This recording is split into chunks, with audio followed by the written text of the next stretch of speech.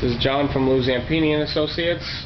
I just wanted to make a quick video to give you guys an overview of a custom designed peck feed drill system that we put together for a customer. This is actually a modified Ingersoll Rand 8255 self-feed drill. Uh, basically we built an external peck feed control unit that controls the feed rate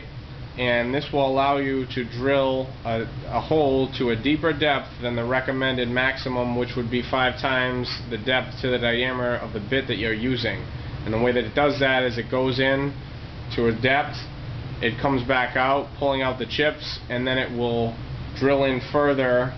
beyond the point that it initially went to come out again and and go further the next time until it gets to the desired depth and I'm just going to go ahead and turn this on quickly so you can get a, um, a view of what this looks like in action.